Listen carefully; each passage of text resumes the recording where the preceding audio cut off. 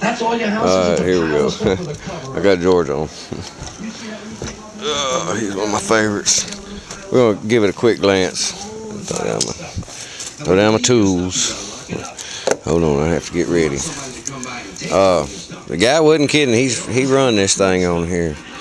So I'm gonna see if I can't put it back together. I don't know why they would have tore it all apart, but if it just had didn't have spark, he might have been just wanting to get another motor throw it all on there. But you can see it's been run, and it run on here.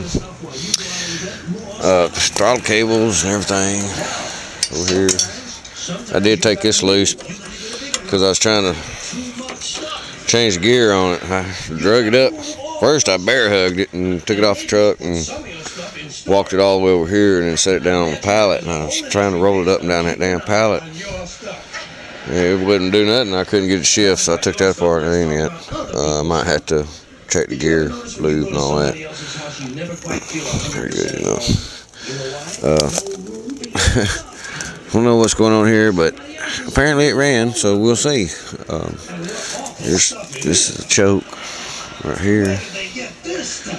Yeah, and throttle. If you look down here, it comes down. Actually on the back side here.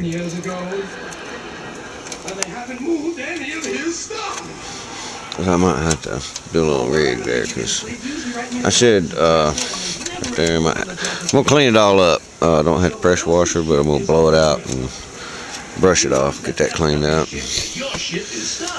Uh, I'll show you what I'm gonna do here. How to do this. I hope it worked. she does. She got a little bit of compression on it. Uh, and the question is, is which one of these coils is it? Hmm.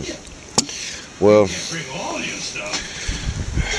that one probably been running, and that was probably it right there. I don't know, but it looks like it's been on there.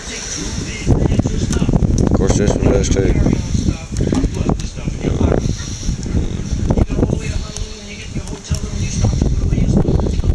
I don't know. I'll try them both. No big thing. One way or another, I get it going. Um, well, it's fairly simple. Put some petrol in it. Try to hook the throttle up on it. Looks like it pulleys offset some or something. Well, man, it's just probably just me. No, it's just me. Need a new belt. That bugger loose. Uh, other than that, hey, let's see what's happening.